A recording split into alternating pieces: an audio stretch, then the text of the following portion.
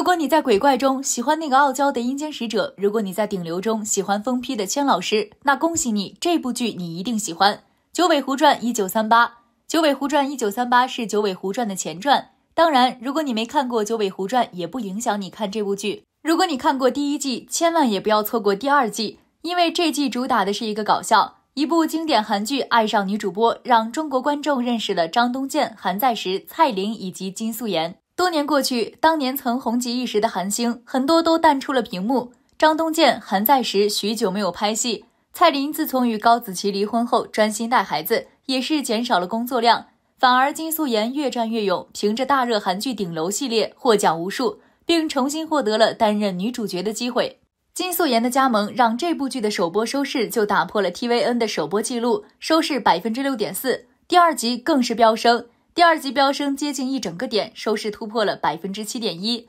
这部剧已经超越了第一部的最高收视记录。不得不说，金素妍真的是收视保证。有人说金素妍的演技已经越来越偏了，但是我觉得能演好甜美风格的陷入纯情，也演好了顶流中的疯批美人，这已经足够说明演技了。而这部剧更是强化了金素妍的疯批人设。在这部剧中，她饰演的柳红珠是一个对李艳着迷的疯批美人，见面就抱，拒绝就打，力气大到拦截火车，扛得动与她一般高的大刀。以为是一个纯情的暗恋者，没想到李艳让他追查黑白面具的人，他找到了，竟然是他的情人。那他究竟是好还是坏呢？这个人设真的让人看过瘾。不得不说，这还是不是那个让人着迷的千姐？另外，让人搞笑的是，李艳与申主走丢后再次重逢的画面，搞笑的不能再搞笑。两个人竟然一直错过再错过，再次见面竟然是一辆车过后的歌声重叠，让两个人眼泪汪汪。看他俩跑着拥抱，竟然看出了爱情中男女主相逢的场景画面。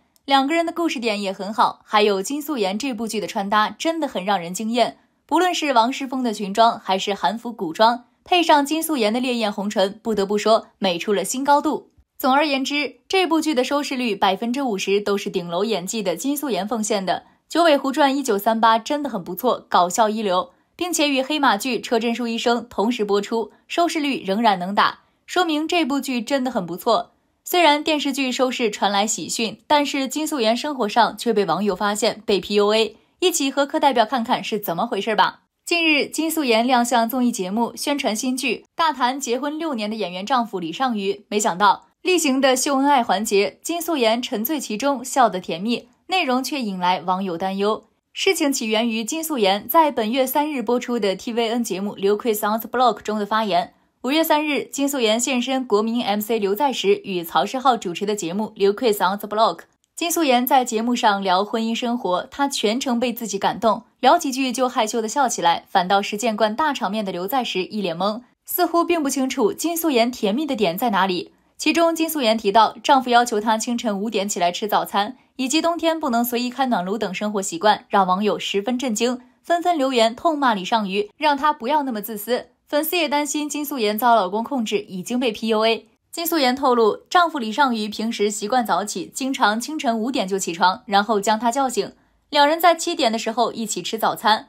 对此，刘在石感到不解，正常人都不会觉得那是一种浪漫吧？两位主持人问金素妍：“你没有试过说想多睡一会儿吗？”金素妍即露出甜笑说：“可以一起吃早餐，我开心，欧巴也开心。”刘在石即笑言：“金素妍这样说，显得他们像坏人一样。”金素妍解释：“一开始她无法醒过来，强壮的丈夫就将她一把抱起来，直接抱到餐桌前或者抱到沙发上。当我再次睁开眼睛的时候，发现自己在沙发上，又或者坐在餐桌前。”金素妍还透露，李尚宇经常不愿意开暖炉，他说：“想要在外面不怕冷，就要先维持适当的室内温度。”我向来怕冷，到了九月底的时候就想开暖炉，他便会说不行。十一月二日是我的生日，他提议在那天开暖炉。去年我生日那天，一睁开眼就打开暖炉。年纪大了，本来觉得生日没有什么意思，但去年的生日我真的好期待。金素妍谈论此事时没有抱怨的语气，但节目播出后，网友却为他担心。大批粉丝在李尚宇的社交网留言，希望他顾及金素妍的健康，毕竟男女身体不同，很多女性容易手脚冰冷。金素妍在家里足足冷了一个月才被允许开暖炉，实在过分。看到丈夫被骂，金素妍立即发文保护李尚宇，比谁都更照顾我健康的尚宇，他是为了我的健康，希望我不要过早开暖炉，通过适当的运动来提升免疫力。她表示自己能够过得健康，全靠丈夫的监督，又指对方非常怕热，但每年秋天与冬天都陪他开暖炉，牺牲甚大。他希望大家不要误会，一切都是因为他表达能力不够好，让外界误会了李尚宇。实际上，他去年的生日过得非常有趣，一点都不痛苦。事件引发网友讨论，但李尚宇全程都不用发声，因为金素妍站在他面前为他遮风挡雨。在外界看来，金素妍像着魔一样爱着李尚宇，在她口中，丈夫所做的一切都是完美的，堪称零缺点。金素妍在节目开始时这样评价自己的老公。欧巴有很多话题，他说话非常有趣，而且很机智，真的非常有趣。刘在石插话：“这个我知道，我第一次听到有人这样说。通常别人听到我这样赞美老公，都会认为我在胡言乱语，说你那个是虚拟恋人吧，你在跟自己恋爱吧。”此话成功逗笑了两位主持人。日常生活中，金素妍经常向老公表达爱意，她爱得太夸张，连当事人都顶不住。李尚宇会禁止金素妍说那些太超过的话，够了，过犹不及。他还常常叮嘱金素妍不要太爱他。素妍呀，无论做什么事情都不能太超过，我们之间就适当，刚刚好就行。因为这样我们才能走得更远，才能一辈子都过得很幸福。